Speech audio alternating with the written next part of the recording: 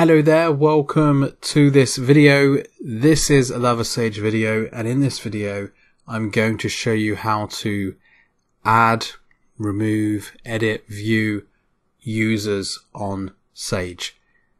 It doesn't matter if you have Sage 50 Cloud, Sage 50 accounts, Sage Instant accounts. It doesn't matter which version or copy of Sage you have, the process is going to be exactly the same. So I have my Sage in front of me. We just go to the top ribbon here and click on settings. Scroll down to user management and then click on users. So settings, user management, users. The users box will appear and you should have a list of all the current users that have access to your copy of Sage. There's just one in my list, which is manager. That's me, because I'm the only person who has access to these accounts. But you may have a list, you may have just one.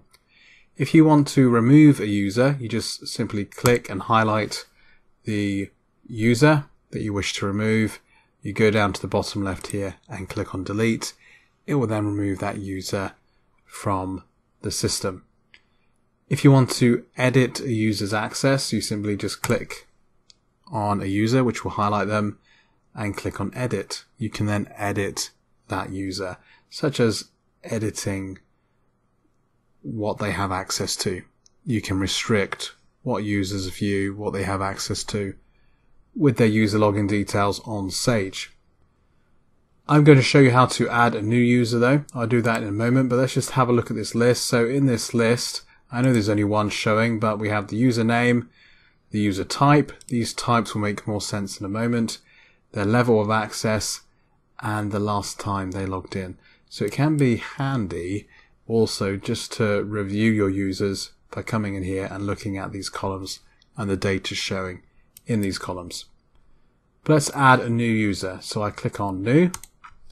The first thing I'm asked is to select a user type. There are three types. There are standard. So this is for most users that you're going to add to Sage are going to be standard. Administrator is the person that has access to absolutely everything and can add other users to the software. Generally, there's only one or two administrators. Everyone else will have the standard access. If you want to add your accountant or bookkeeper, there's also an option in the center here to add a bookkeeper or accountant. But let's add a standard user and click continue we're asked to create a username, so perhaps we're going to add the bookkeeping master.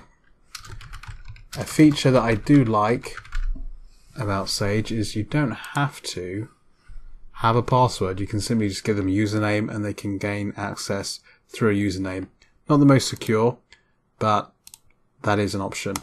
If you want to add a password, simply leave this unticked and enter the details. If you want them to create their own password, then you can tick this box. They will need the password you set for the first time they log in. Going forward, they will have their own password.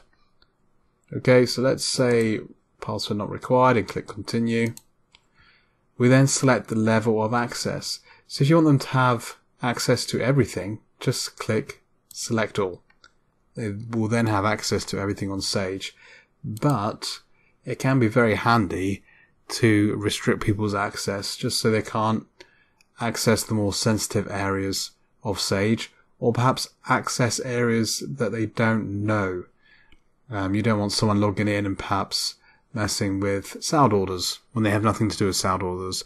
You don't want people perhaps stepping on each other's feet when they're using Sage.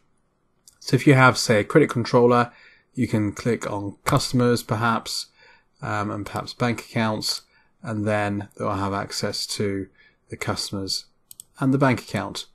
You can see things um, in even more detail. If you click on these little arrows, you know, you could give someone access to everything in the customers apart from price lists and refunds for whatever reason.